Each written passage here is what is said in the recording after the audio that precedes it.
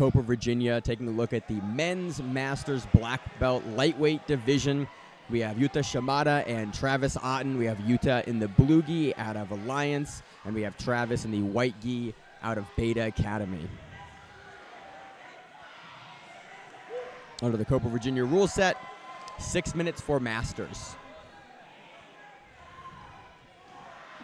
Both guys electing to take a real low stance, and Yuta immediately going for a Oh. drop seoi nage into the TV. And Referee decides to let it keep going. Yep, and just gets on top of him. He's in the half guard at this point.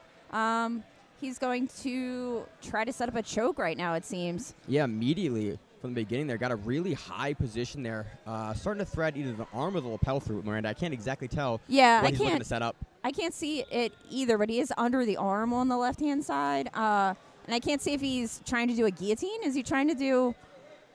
Looks like he's trying to pull the hand through. Potentially Yeah. actually going to go for a pass here uh, with that cross-side knee cut. yeah, he is. He down. slides his knee out, and he's in the quarter guard right now. He, but he's going to go straight to mount.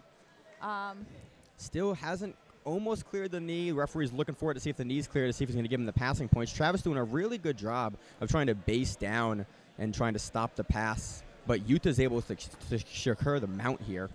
Yeah, and he has his feet. Oh, well, then he transitions to the side mount.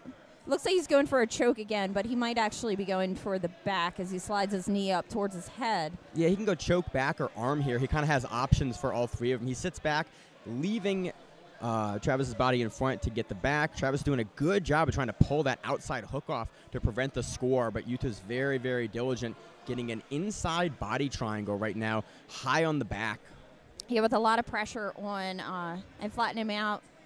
And then I think he is trying to uh, put his left hand under and grab the lapel.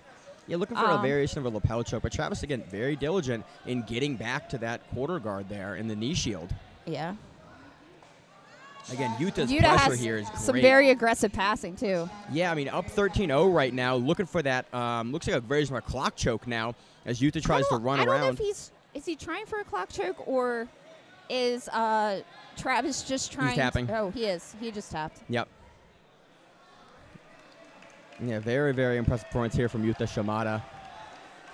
From uh, Alliance Marcelo Garcia up in New York. Yep. Quite a drive. Phenomenal match. Great display of technique. Really love to see when the Masters guys come out here and really, you know, show that they can ha- use that gas tank. Great match. Great performance.